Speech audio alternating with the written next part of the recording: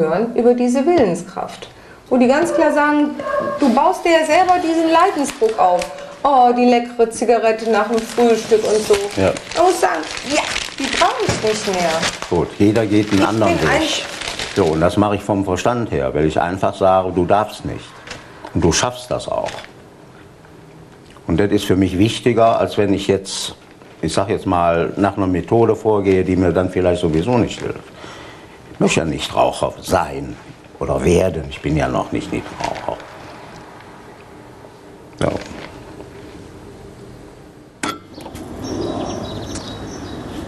Ja, Jörg. Was du da gerade tust, bedarf keiner weiteren Erklärung, denke ich mal. Oder möchtest du mal was dazu sagen?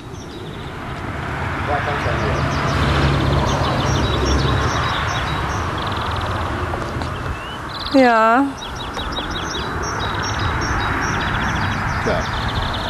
Ich bin leider rückfällig geworden. Es tut mir sehr leid. Ich versuche auch nochmal dagegen anzukämpfen. Aber ich war also in den letzten Tagen äußerst nervös, habe schlecht geschlafen. Ich kann einfach nichts dafür und mehr möchte ich im Moment dazu nicht sagen.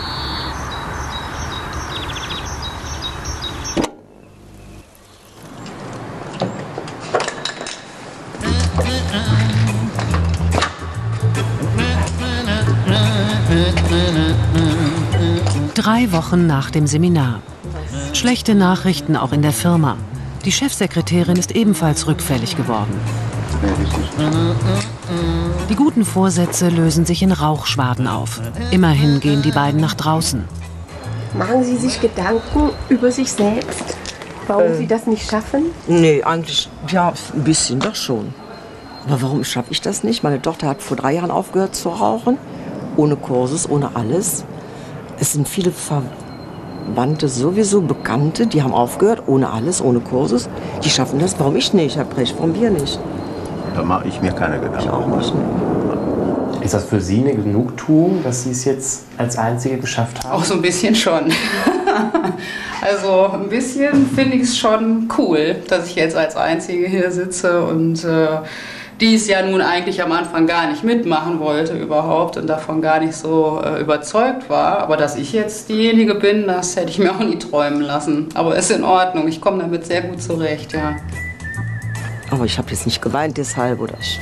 Nein, ist ja auch gut gewesen, dass wir, ich sag jetzt mal, auch in der Firma den Versuch unternommen haben, mit dem Rauchen aufzuhören.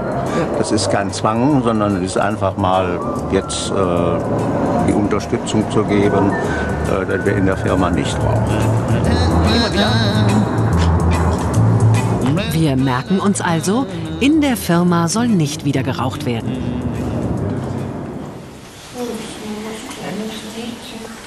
Zu Hause gibt es einen Krankheitsfall.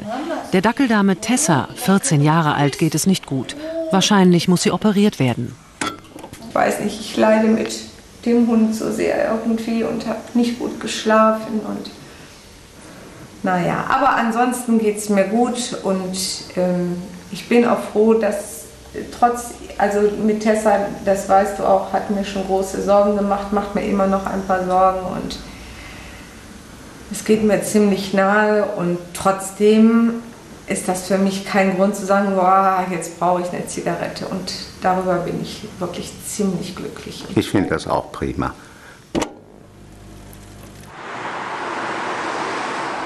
Vier Wochen nach dem ersten Seminar gibt es einen Wiederholungskurs, diesmal für die Rückfälligen. Zur moralischen Unterstützung ist Frau Presch mitgekommen. Sie raucht nach wie vor nicht. Ihr Mann will das auch schaffen. Möchten Sie weitermachen? Ja, ich rauche seit ungefähr 50 Jahren Ja, und habe vor dreieinhalb Wochen das erste Seminar gehabt. ja. Und ich bin jetzt vom starken Raucher zum Gelegenheitsraucher geworden. Das heißt für mich äh, ein Fortschritt. Ja, Und heute bin ich eben hier, um den Rest wegzubekommen. Rest zu machen, ja. Okay, ich kann Ihnen nur sagen, die Länge, die ist nicht unbedingt das Bestimmende, sondern das Bestimmende ist, dass ich eine Einstellung habe und dass ich wirklich sage, ich habe ein Ziel und dieses Ziel möchte ich erreichen. Und das haben Sie ja eben gesagt, das möchten Sie. Ne? Und deshalb wird es auch bei Ihnen funktionieren. Ich habe durch das Rauchen keine Vorteile. Schauen Sie mal, wir alle wissen, dass das Rauchen uns nicht weiterbringt. Darf der Körper nicht ein bisschen zicken? Diese Geschichte hier hat nichts mit Magie zu tun. Also es gibt niemals die gute und die schlechte Methode. Morgen, morgen werde ich ganz ehrlich mit dem Rauchen aufhören. Jede Methode, mit der Sie es schaffen, mit dem Rauchen aufzuhören, aufzuhören, aufzuhören ist für Sie die richtige Methode.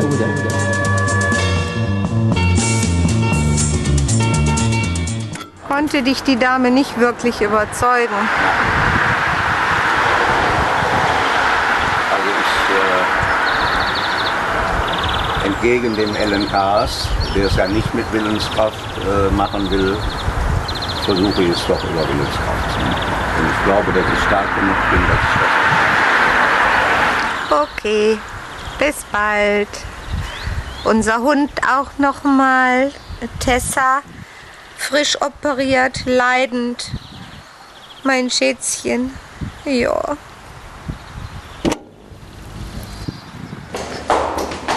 Die Bewährungsprobe nach dem Wiederholungskurs. Das Ehepaar ist zur Party eines überzeugten Rauchers eingeladen. Und Jörg Presch will sie ohne Zigaretten überstehen. Zu spät wie immer. In sein Atelier hat der Düsseldorfer Kunstprofessor und Maler Hermann Josef Kuhner geladen. Es fließt der Wein und dazu qualmt es hier und da. Das wird nicht einfach. Sieht das lecker aus. Buffet und drüben ist das erstmal heiß. Und nachher kommen die Lammkoteletts. Das kommt um Gott, 21.30 Uhr. ich werde wahnsinnig. Dort gibt es äh, Professor Kuhner erklärt das Buffet.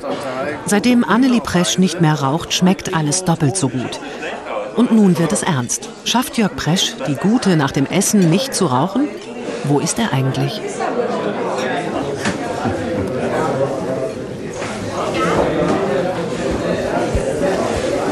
Erwischt. Hashtag hat sie doch erwischt. Ich habe gedacht, Sie meinten das.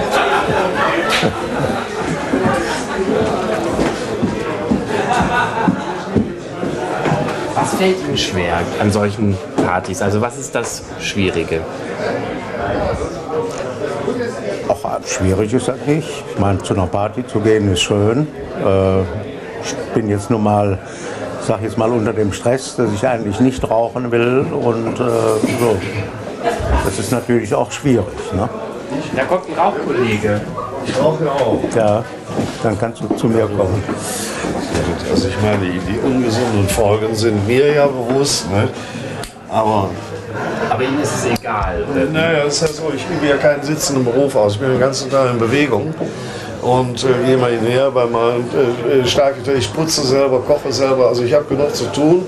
Und ich denke, wenn man immer in Bewegung ist, dann äh, ist das mit dem Rauchen nicht so schlimm.